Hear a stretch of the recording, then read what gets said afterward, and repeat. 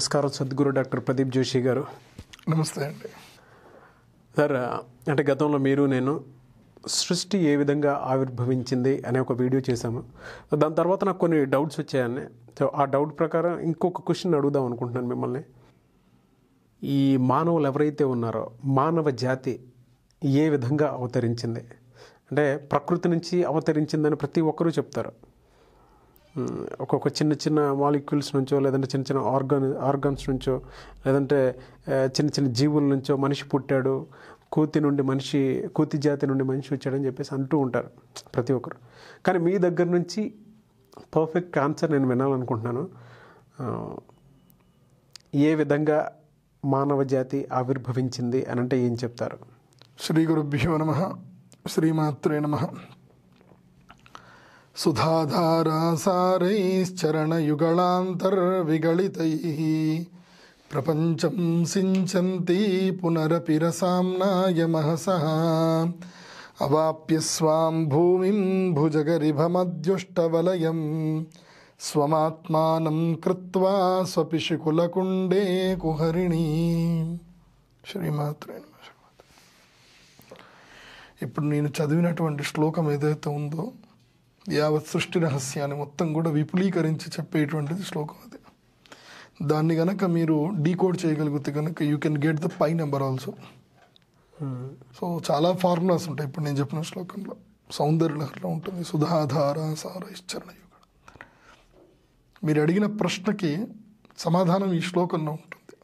కాకపోతే దాన్ని విశదీకరించి చెప్పాలి దాన్ని అర్థం చేసుకునే అంత శక్తి కూడా చాలామందికి లేదు. సో చాలా సులభమైనటువంటి మార్గంలో నీ ప్రశ్నకు సమాధానం చెప్తాను.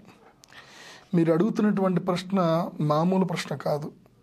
ఇది భవిష్యత్తు భావి తరాలకు ముఖ్యంగా బయాలజికల్ సైన్స్ ఎవరైతే చదువుతున్నటువంటి విద్యార్థులు కానివ్వండి కెమిస్ట్రీ చదువుతున్నటువంటి విద్యార్థులు కానివ్వండి రేపు ఫ్యూచర్ డాక్టర్ అవుతున్నటువంటి వారికి కానివ్వండి ఈవెన్ దో డాక్టర్స్కి కూడా because physiological function what is a physiological function who is running that physiological function అనే దాని మీద కానివ్వండి.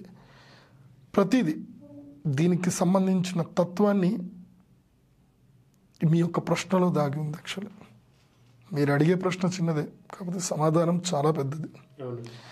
అది అర్థం చేసుకోవడానికి దానికి చాలా విఘ్నత కావాలి విజ్ఞానం కావాలి ఓపిక కావాలి.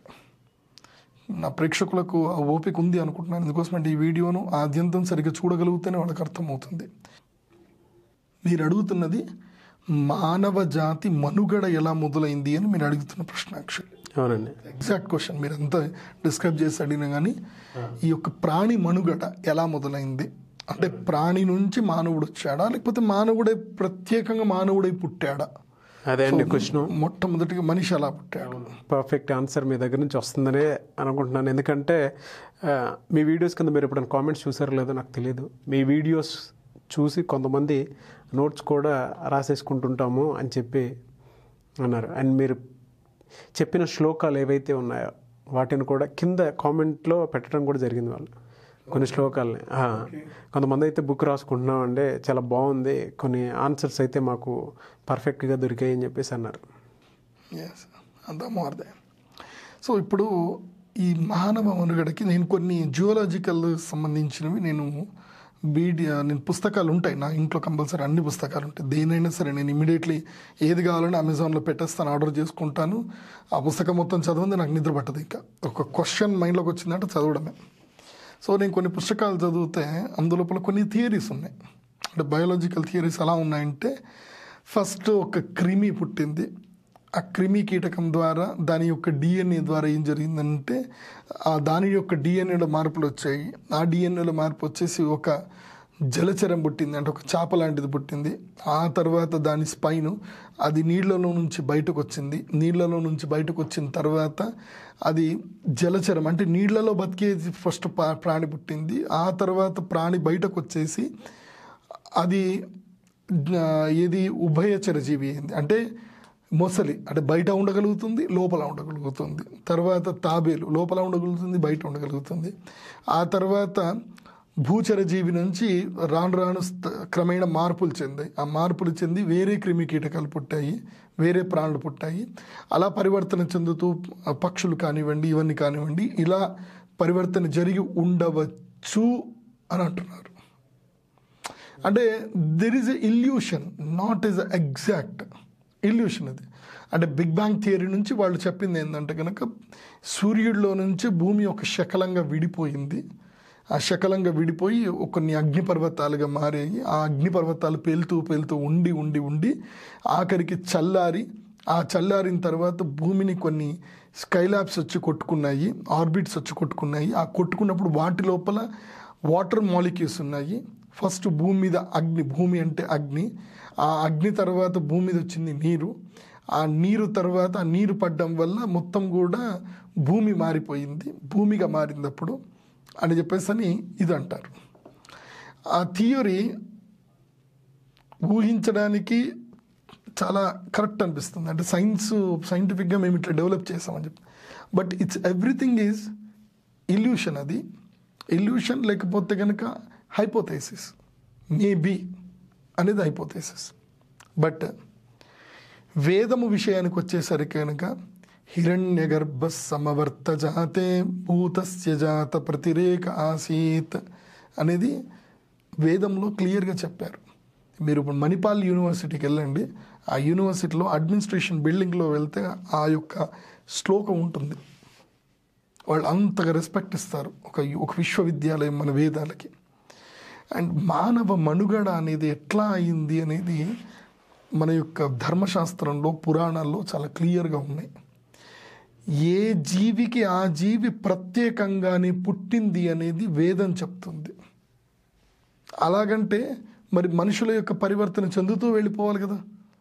మనం ఇన్నేళ్ళుగా మన మనుషులు మనకు తెలిసి ఒక ఐదు వందల ఏళ్ళు అయితే మన దగ్గర ఎవిడెన్సెస్ ఉన్నాయి మనుషులవి. మరి అప్పటి మనుషులు ఎలా ఉన్నారు? ఇప్పుడు అలాగే ఉన్నారు. కాకపోతే కొన్ని చోట్ల హైట్గా ఉన్నారు కొన్ని చోట్ల హైట్ తక్కువ ఉన్నారు రూప రంగులు మారుతున్నాయి. కానీ మనుషులో రాను రాను రాను రాను చాలా పరివర్తన చెందాలి కదా. ఈ క్వశ్చన్కి ఆ క్వశ్చన్ ఇస్తే ఆన్సర్ ఏమంటారు అంటే కనుక మన కన్నులో కూడా పైన రెప్ప కింది రెప్ప కాకుండా ఇంకొకటి కూడా ఉంటుందట ఈ ఈ లోపల కూడా. ఇక్కడ కూడా ఇంకొక రెప్ప ఉంటుందట. అది రాను రాను మాయమైపోతుందట. ఇవి చెప్తున్నవి. ఏవి మోడర్న్ బయాలజికల్ సైంటిస్ట్ చెప్తున్న విషయాలు ఇవన్నీ కూడా. అంటే మనిషిలో ఈ విజ్డమ్ టీత్ ఉండదు. రాను రాను విజ్డమ్ టీత్ చాలామందికి రాదు. ఎక్కడ ఎందుకు రాదు? Everything is there about the human being it's everything is in hypothesis they are making illusion to the people you are born from something something అని చెప్పి. ఇట్స్ ఎవ్రీథింగ్ ఈజ్ ఫేక్ వేదం క్లియర్గా చెప్తుంది. ఎన్ని ఎన్ని రకాల జీవరాశులు ఉన్నాయి ఎనభై నాలుగు లక్షల జీవరాశులు ఉన్నాయని చెప్పి వేదం చెప్తుంది. చతురశీర్తి లక్షాన్ని శివేన కథితానివై అని చెప్పింది. తర్వాత ఇంకోటి చెప్తుంది. తత్రాపి జన్మ శతకోటిషు మానవత్వం చ- తత్రాపి జన్మ శతకోటిషు వైష్ణవత్వం తత్రాపి జన్మ శతకోటిషు శ్రీ విద్య ఉపాసకం అని చెప్పి. అంటే ఒక్కొక్క దానికి ఒక్కొక్క తత్వము ఈ యొక్క మానవ శరీరానికి సంబంధించి ఆత్మ చైతన్యం అనేది శరీరాలన్నీ కూడా మొట్టమొదటి నుంచే ఉన్నాయి. ఈ భూమి మొదటి నుంచి కూడా ప్రజాపతులు ఎవరైతే కనుక విశ్వానికి సంబంధించిన ప్రజాపతులు దే కర్దమ దేవహూతి ప్రజాపతులు తరువాత కశ్యప ప్రజాపతి అత్రి ప్రజాపతి ఇలా ఎంతోమంది ప్రజాపతులు బ్రహ్మ ద్వారా సృష్టింపబడి వారందరూ కూడా చేసినటువంటి నానా విధమైనటువంటి సృష్టి తత్వం ఇది.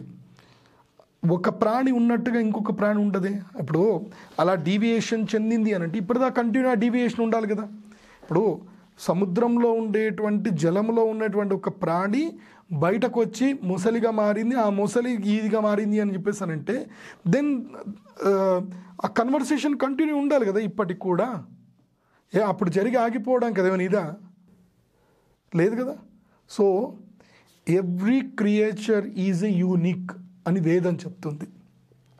So biological scientist don't fall behind this hypothesis okay నేను నేను నా భారతీయ విద్యార్థులకు ఎవరైతే కనుక స్వచ్ఛంగా నేను తెలుగులో మాట్లాడుతున్నాను నా నాకు చాలామంది అంటున్నారు ఈ కంటెంట్ ఇంగ్లీష్లో మీరు చెప్పండి Guruji we are here to listen many things అని but I have no command kind of English because చిన్నప్పట్లో నాకు హేట్రేటరీ క్రియేట్ చేశారు ఇంగ్లీష్ మీద.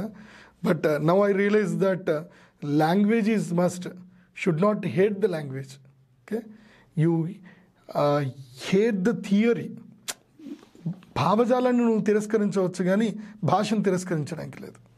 భాష అనేది ఒక మాధ్యమం. ఒక మాధ్యమం ద్వారా మనం ఏదైనా చేయవచ్చు కాకపోతే నా అదృష్టం ఉండి చిన్నప్పుడు పూర్తిగా సంస్కృతం మీద కాన్సన్ట్రేషన్ చేశాను కాబట్టి చాలా విజ్ఞానపరమైన విషయాలు నేను నేర్చుకున్నాను ఇవాళ ప్రపంచానికి అందజేయగలుగుతున్నాను. కాబట్టి ఇవాళ నేను భావి భారతీయులకు అందరు కూడా చెప్తున్నది ఏంటంటే మనిషి మనుగడ ఎలా మొదలైంది అని అంటే మొట్టమొదటిగా ఎనభై నాలుగు లక్షల జీవరాశుల్ని యాజ్ ఇట్ ఈజ్గా భగవంతుడు తయారు చేశాడు. ఎందుకు తయారు చేశాడు? ప్రతి దానికి ఒకటి ఒక ఉంది. సృష్టి యొక్క తత్వం మూడే మూడు చాలా చిన్న ఫార్మర్స్ మూడే మూడు ఫార్మర్స్. సృష్టి స్థితి లయ. పుట్టడము బతకడము చనిపోవడం ఈ మూడే. ఏదైనా ఒక ప్రాణి పుట్టింది అని అంటే దానికి తిండి కావాలి దాని స్థితి కారకత్వం మళ్ళీ ఆ ప్రాణి చనిపోవాలి ఆ ప్రాణిని ఎవరు తింటారు? ప్రతి ప్రాణికి సృష్టి స్థితి లయ ప్రతి దానికి ఉంటుంది. సముద్రంలో కొన్ని ప్రాణులు కొన్ని చెత్తలు వదిలేస్తున్నాయి కొన్ని ప్రాణులు వాటి యొక్క ఎస్క్రియేషన్స్ వదిలేస్తున్నాయి.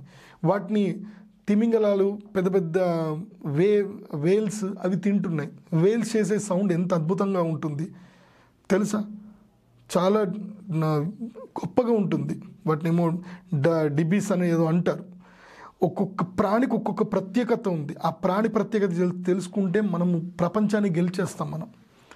ప్రపంచం తత్వం మేము తెలుసుకోవడం ఎవరి వల్ల కాదు. అదే భగవత్ సృష్టి తత్వం. మనిషి మరి ఇన్ని ప్రాణులన్నీ వేరు. ఇన్ని ప్రాణులన్నిటికి కూడా కమాండింగ్ అంతా కూడా ఒక నేచర్ ఒక నేచర్ కమాండింగ్ జరిగిపోతుంది. నేచర్ ఒకదాన్ని ఒకదాన్ని కమ్యూనికేట్ చేసుకుంటున్నాయి.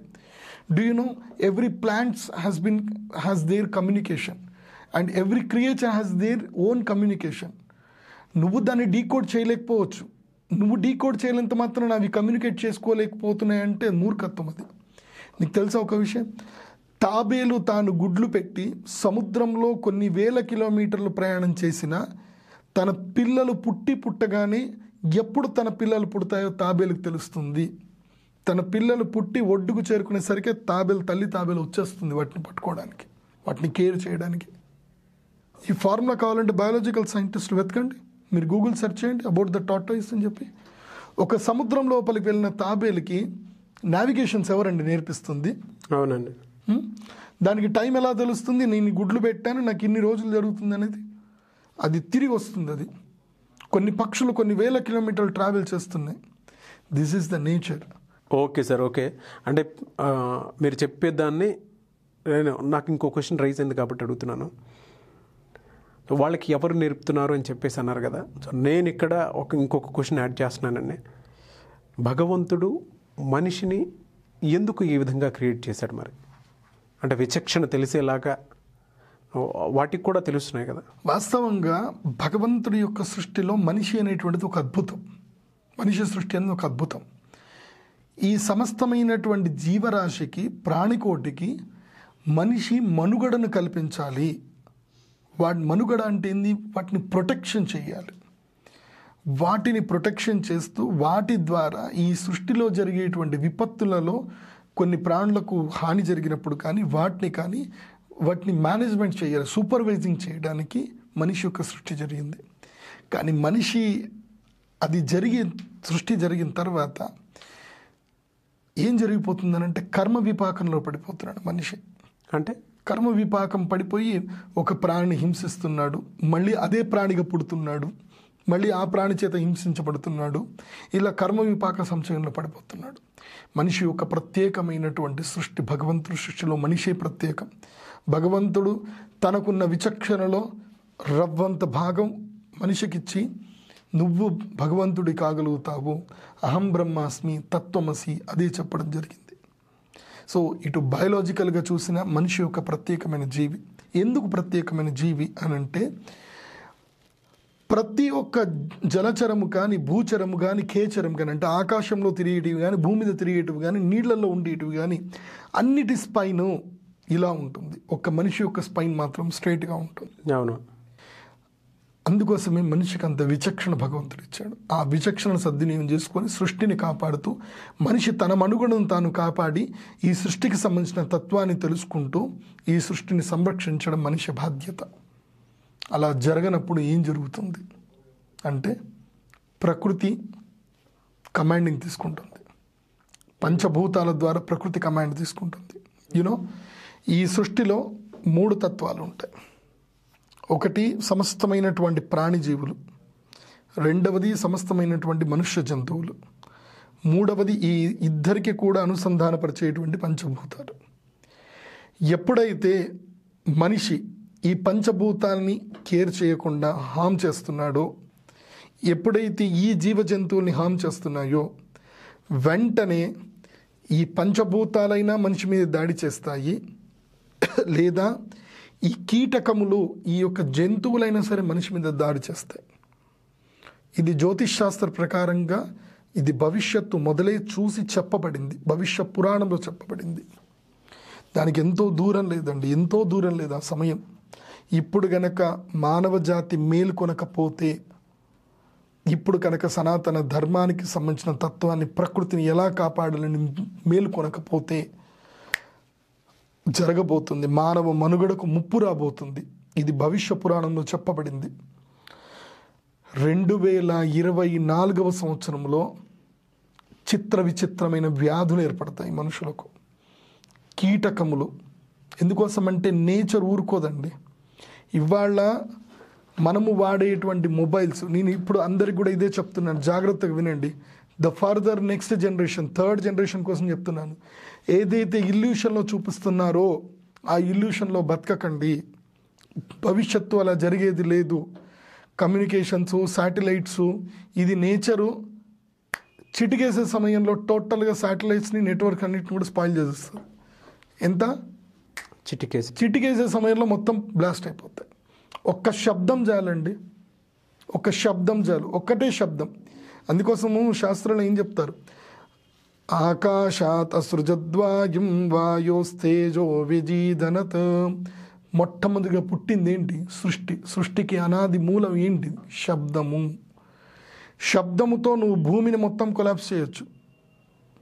శబ్దము చాలా గొప్పది. మాలిక్యూస్లో అత్యంత సూక్ష్మమైన మాలిక్యూస్ ఏవి అంటే the sound waves. Then air waves. Then light waves. So శబ్దానికి చాలా శక్తి ఉంది భూకంపం ఎలా జరుగుతుంది అనేది కూడా ఇదే తత్వం చెప్పబడింది బృహత్ సంహితలో. If you want you can download the Brihat Samhita PDF ఇంగ్లీష్లో దొరుకుతుంది. డౌన్లోడ్ చేసుకొని అందులోపల భూకంప లక్షణ అధ్యాయంలో you can see the first or third stanza చూడండి. అనిలో అనిలేన నిహత అని ఉంటుంది. అంటే వాయున వాయున సంఘటిత శ్వసన్ కుర్వన్ భూమౌ పతతి అని ఉంది అంటే ఒక గాలి ఇంకో గాలితో ఢీకొని భయంకరమైన శబ్దము చేస్తూ భూమి మీద పడుతుంది. దీని ద్వారా భూకంపాలు వస్తాయని చెప్పారు. ఈ ఫార్ములా ఇప్పటి వరకు సైంటిస్టు దీన్ని యాక్సెప్ట్ చేయడానికి రెడీ లేరు. I'm giving the resource to future generation to do the research on this.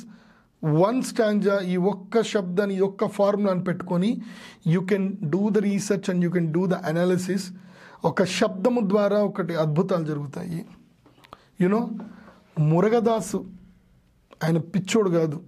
ఆయన చాలా ఒక ఫ్యూచర్ ఆలోచించి తీసి ఒక దర్శకుడు. నేను చూసిన దర్శకుల్లో ఒక మేధావి అయిన దర్శకుడు అతన్ని.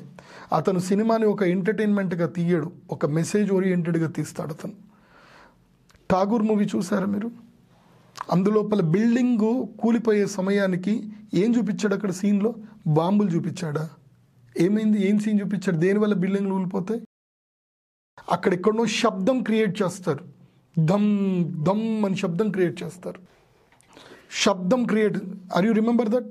ఎక్కడో దగ్గర శబ్దం చేస్తారు పెద్ద శబ్దం చేస్తారు. ఆ శబ్దానికి అపార్ట్మెంట్ అంతా కూలిపోతాయి. చాలామంది ఏంటంటే అక్కడ భూకంప ఆ నేలని భూమిని ఇమ్మీడియట్లీ నువ్వు కదిపే శక్తి నీకు లేదు. దానికి ఒక లిమిటేషన్ ఉంటుంది. అంతవరకు భూమి కదలడం ఉంటుంది. కానీ శబ్దముతో చాలా భయంకరమైనవి జరుగుతాయి. నేను భవిష్యత్తులో ఉండేటువంటి సెక్యూరిటీ సిస్టమ్ కూడా చెప్తున్నాను. భవిష్యత్తు తరాలకు కూడా చెప్తున్నాను. శబ్దముని సంరక్షించుకోండి. మనిషి యొక్క చెవులకు చాలా తక్కువ ఉంది. మీరు మనిషి మనుగడ అని అడిగారు. మీరు అడిగిన ప్రశ్నను నేను మనిషి మనుగడ గురించి బాధపడుతున్నా నేను. మన మనుగడను మనం కోల్పోతున్నాం నాగరాజ్ మీకు అర్థం కావట్లేదు. మనం చాలా డేంజరస్లో ఉన్నాం మనం. ఈ శబ్దము అనవసరమైన శబ్దాలు విని విని విని విని మన ఆయుష్ను మనమే తగ్గించుకుంటున్నాం. పూర్వకాలంలో ఇంత నాయిస్ లేకుండే. Noise violence noise resolution revolution రావాలి ఇప్పటి నుంచి. శబ్దం శబ్దాన్ని అరికట్టే శక్తిగా మారాలి అందరూ కూడా. చిన్నపిల్లలు వ్యాధులు వస్తున్నాయి. ఆటిజం ఎన్నో రకాలైన వ్యాధులు వస్తున్నాయి. ఇది తెలియట్లేదు. మన మనుగడను మనం కోల్పోతున్నాం. మనిషి తన మనుగడను కాపాడుకోవాలంటే విచక్షణ కావాలి. ఆ విచక్షణను కోల్పోతున్నాం నాగరాజు. ఎవరో ఒకళ్ళు ముందుకు రావాలి. వాళ్ళు చెప్పిన మాటలు పది మంది వినాలి. మన మనుగడను మనం కాపాడుకోవాలి. లేకపోతే మన భవిష్యత్ తరాలకి ఏమి ఇవ్వలేం. There is a lot changes చాలా చేంజెస్ జరుగుతున్నాయి. సో మనిషి పుట్టుక గురించి రహస్యం తెలుసుకోవడం కాదు మనకు కావాల్సింది ఇప్పుడు. మనిషి యొక్క మనుగడను కాపాడుకునే ప్రయత్నం కావాలి ఇప్పుడు. నీ ప్రశ్నలో నేను సమాధానము చెప్పాను భవిష్యత్తుకు సంబంధించిన మెసేజ్ ఇచ్చాను. This follow these all the things to protect the human life human means not only మనుషులు human means everywhere all creatures thank you sir thank you so much awesome.